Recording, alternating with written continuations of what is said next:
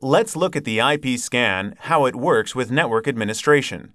As a network management solution, IP scan provides high technical packet control methods such as ARP monitoring or ARP control, IP blocking or MAC blocking, IP conflict management or IP protection, IP scan with existing DHCP server, built in secure DHCP server and 802.1q support in multi-VLAN environment.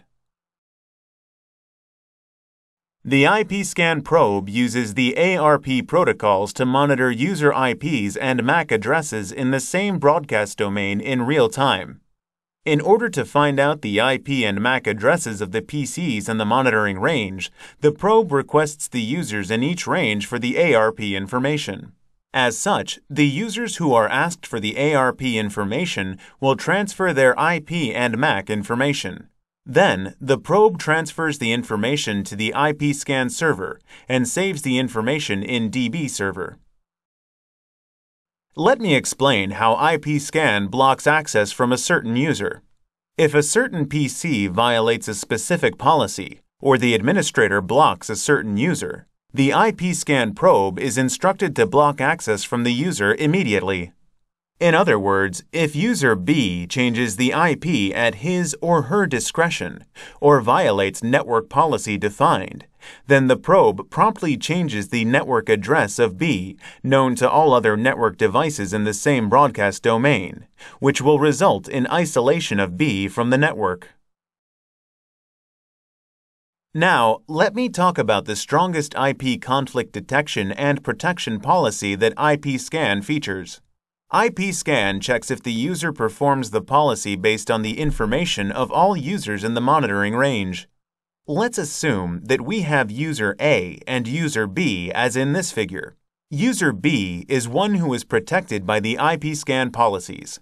If user A and user B try to access the same network using the same IP, an IP conflict occurs inevitably. If this conflict happens, neither user A nor user B can access the network. IPScan detects this conflict and informs all network devices in the same broadcast domain, for user B's sake, that user B is the first owner of the problem IP. As a result, user A can't access the network while user B regains access to it. IPScan supports both conventional DHCP environment and static IP environment. Currently, the static IP is used for the server or major network equipment. However, only the IP and MAC addresses assigned by the DHCP server are under control. But an integrated management that controls the static IP network devices is not implemented properly. If a proper management of both static and DHCP IP areas is not made, IP redundancy and conflict may occur consequently. Another major issue in security. In the DHCP environment, the users can use the IPs with ease, making it difficult for the administrator to manage the IPs manually.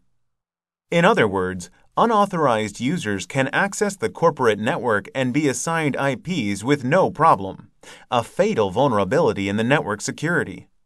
Unlike this vulnerability, IPScan detects an access by any unauthorized user right after he or she accesses the corporate network and transfers blocking packets.